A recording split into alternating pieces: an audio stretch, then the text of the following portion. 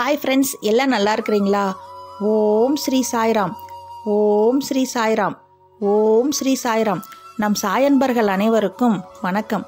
நம்ம சேனலில் இப்போ தான் நீங்கள் ஃபஸ்ட் டைம் வீடியோ பார்க்குறவங்களா இருந்தீங்கன்னா சப்ஸ்கிரைப் பண்ணிடுங்க சப்ஸ்கிரைப் பண்ணிவிட்டு பெல் பட்டனை கிளிக் பண்ணி ஆளுங்கிற பட்டன் ப்ரெஷ் பண்ணிடுங்க அப்போ தான் நான் போடுற பதிவு உடனுக்குடன் நோட்டிஃபிகேஷனில் வரும். நோட்டிஃபிகேஷனில் வந்தோடனே அந்த பதிவை பார்த்து அதனோட முழு பலனையும் பயனையும் நீங்கள் அடையணும். அதுதான் என்னோட விருப்பம். நம்ம சாயப்பாவோட அன்பு கட்டளை. இன்றைக்கி நாம் பார்க்க போகிற பதிவு என்ன அப்படின்னு பார்க்குறீங்களா? ரொம்ப முக்கியமான பதிவு. வியாழக்கிழமை. வியாழக்கிழமையில் அதுவும் தை அம்மாவா அமாவாசை. இந்த தை அமாவாசை அவ்வளவு விசேஷமான இந்த நாள். இந்த நாளை நீங்கள் தவற விடக்கூடாது. இந்த நாளில் என்ன பண்ணலாம் அப்படின்னு கேட்டால் இந்த நாளில் நான் ஒரு பொருள் சொல்லுவேன். அதை வச்சு நீங்கள் குளிக்கணும். கன்ஃபார்ம் அதை தான் நீங்கள் வச்சு குளிக்கணும்.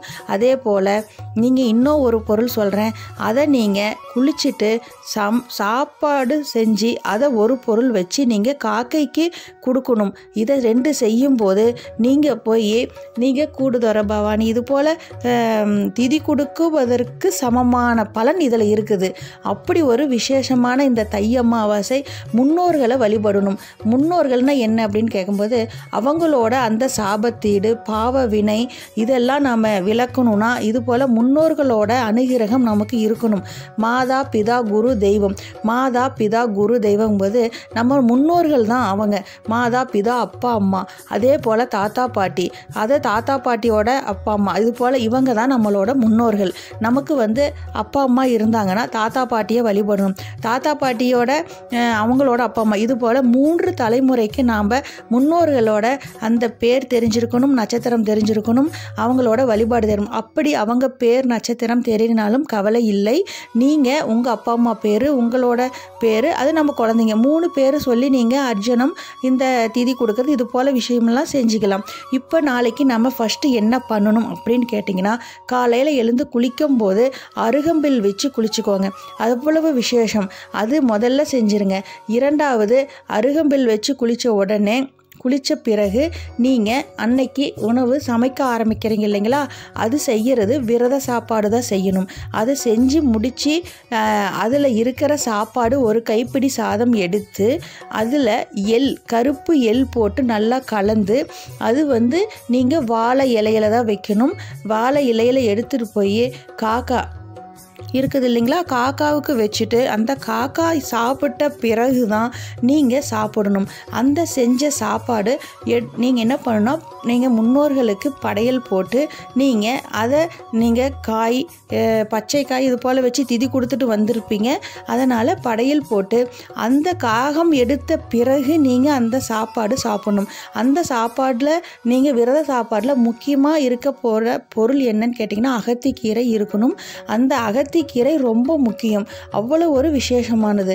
அதை நீங்கள் முக்கியமாக நாளைக்கு சமையலில் பயன்படுத்துங்க. காலையில் நீங்கள் அதை பசுமாட்டுக்கு ஒரு கட்டு அகத்திக்கீரை வாங்கிட்டு போய் நீங்கள் கொடுங்க. சிறந்த தானம். அது செய்யும்போது அவ்வளவு பாவ வினைகள் நமக்கு கஷ்டம் தீரும். நல்லது நடக்கும். நீங்கள் என்ன நினச்சி கல்வியில் சிறந்து வழங்கணும் நல்லா படிச்சிருக்கணும் நல்லா படிப்பு வரணும் ஒரு பையன் கேட்டால் நான் டென்த்தில் பாஸ் ஆகணும் அப்படின்னு சொல்லுங்க. அதுபோல் நீங்கள் படிப்பு விஷயமா இருந்தாலும் சரி வேலை விஷயமாக இருந்தாலும் சரி கடன் பிரச்சனையாக இருந்தாலும் சரி மூணு அம்மாவாசைக்கு இது போல் தொடர்ந்து பசுமாட்டுக்கு அகத்திக்கீரை.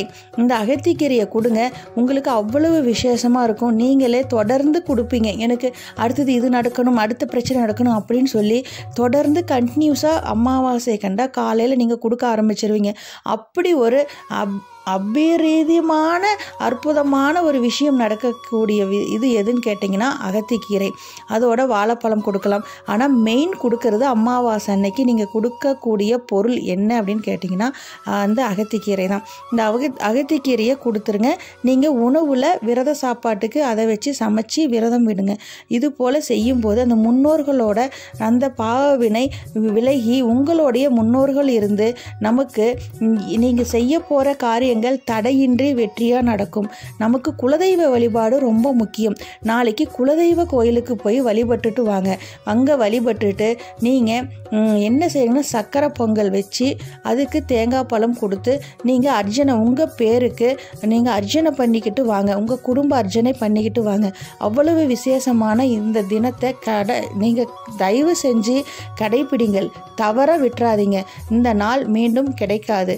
நீங்கள் குலதெய்வ வழிபாடு நான் கோயிலுக்கு போக முடியாத சூழ்நிலையில் இருக்கிறேன் ஆஃபீஸ் போயிருக்கிறோம். ஈவினிங் தான் வருவீங்க. இந்த பதிவை பார்க்க லேட்டாக இருக்கிறவங்க நீங்கள் நீங்கள் என்ன பண்ணுறீங்க அப்படின்னு கேட்டிங்கன்னா சாயந்தரத்து வீட்டுக்கு வந்து நம்ம குலதெய்வ படத்துக்கு முன்னாடி சக்கரை பொங்கல் வச்சு வழிபட்டு நீங்கள் குலதெய்வத்தை நினச்சி வேண்டி இந்த நாளில் நான் என்னால் அங்கே வர முடியல. எனக்கு குலதெய்வம் நீங்கள் உங்களுடைய அனுகிரகம் எனக்கு வேணும் அப்படின்னு சொல்லுங்கள் இன்னொரு முக்கியமான விஷயம் இந்த நாம் இந்த நம்ம இதுக்கு ஒரு ஒரு மணி நேரம் நமக்கு டைம் இருக்குது அந்த ஒரு மணி நேரத்தில் நீங்கள் இதை வழிபட்டிங்கன்னா அவ்வளவு விசேஷம். அந்த ஒரு மணி நேரம் எதுன்னு கேட்டிங்கன்னா காலையில் பத்தரையிலிருந்து பதினொன்றரை மணிக்குள்ளார நீங்கள் இந்த திதி கொடுக்கறது விசேஷமான நேரம்.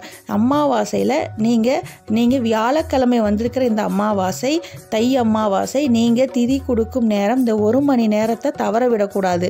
எந்த நேரம்னு கேட்டிங்கன்னா பத்தரையிலிருந்து பதினொன்றரை மணிக்குள்ளார நீங்கள் இந்த திதி கொடுத்தாலும் சரி அப்படி திதி கொடுக்க உங்களுக்கு போக உடல்நிலை பாதிப்பு காரணம் இருந்தால் வீட்டிலேயே காக்கைக்கு கருப்பு எல் கலந்து நீங்கள் வச்சு காக்கை எடுத்த பிறகு நீங்கள் அந்த பதினொன்றுலேருந்து பன்னெண்டு மணிக்குள்ளார இந்த க- வேலையை முடிச்சுட்டு நீங்கள் அதுக்கப்புறம் தான் நீங்கள் சாப்பிடணும். காலிலேருந்து நீங்கள் விரதம் தான் இருக்கணும் சாப்பிடக்கூடாது. முக்கியமாக இதை நோட் பண்ணிக்கோங்க. இது போல் கடைபிடிங்க. அனைத்தும் உங்களுக்கு வெற்றி மேலே வெற்றி கிடைக்கும். இதை கடைபிடிச்சிட்டு உங்களுக்கு எப்படி இருந்தது? நம்ம இந்த அமாவாசை எப்படி பயன்படுத்தணுங்கிறத நான் உங்களுக்கு விளக்கமாக சொல்லியிருந்தேன். இது போல் கடைபிடித்துட்டு எப்படி இருந்ததுன்னு சொல்லுங்கள் கமெண்ட்ஸில். ஓகே ஃப்ரெண்ட்ஸ் இந்த பதிவு பார்க்குறவங்க எல்லாரும் ஒன்றா சேர்ந்து கூட்டு பிரார்த்தனையாக நான் நல்லா இருக்கணும் நம்மளை சுற்றிக்கவங்க எல்லாரும் நல்லா இருக்கணும் இந்த உலகத்தில் இருக்கிறவங்க எல்லாரும் நல்லா இருக்கணும் அப்படின்னு சொல்லி நாம் நோய் நொடி இல்லாமல் சீரும் சிறப்புமாக பேரும் புகழுமா மழை போல் கஷ்டம் இருந்தாலும் அது பனி போல் விலகிடணும்னு சேர்ந்து கூட்டு பிரார்த்தனையாக நம்ம தியானம் செய்வோமாக. ஓம் ஸ்ரீ சாய்ராம். ஓம் ஸ்ரீ சாய்ராம். ஓம் ஸ்ரீ சாய்ராம். தியானம் செய்வோமாக.